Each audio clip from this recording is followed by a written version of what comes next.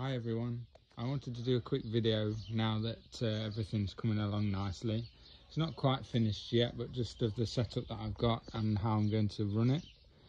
Um, so this is the shade house I've had for a while, just made it out of an old greenhouse that I had. And it works nicely, keeps the sun off some of the plants.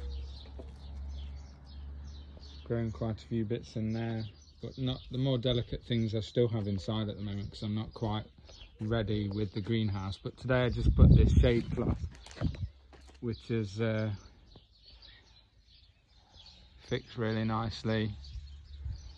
And it also what it means is it means that my potting area is under the shade as well so even on sunny days I can work under here quite comfortably. And obviously this is right next to my greenhouse now So I've fitted all the irrigation. I've not put the actual plugs in yet because I'm not 100% what I'm using.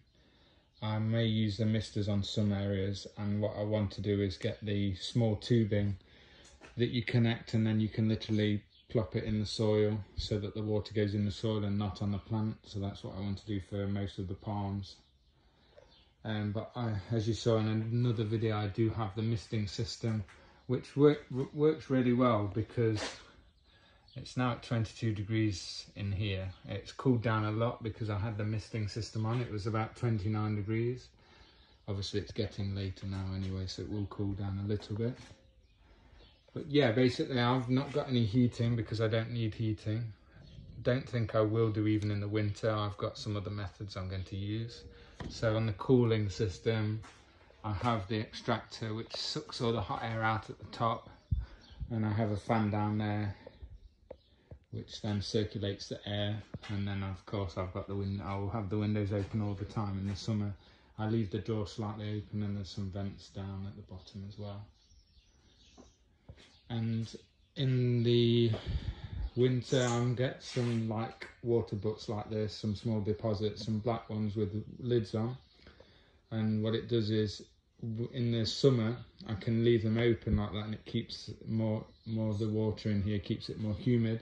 And in the winter I can put the tops on and in the day uh, it will absorb all the heat and then at night it will give off heat. So I think with that because it doesn't get too cold here will be sufficient to keep everything nice and happy. As you can see I've put some bits in here some of the some of the palm seeds that I'm growing because they're not too fussy at the moment until I get the only thing I've got left to do is to finish the irrigation and get the automatic timers which I've ordered some Wi-Fi ones so I can check on my phone. And like if I see that the humidity is low I can turn the mister on or if I see that well the temperature's high then I can also turn the mister on to cool things down. Um, but it means that I can program it as as much as I want really. So yeah, it's not far, not far off to be finished.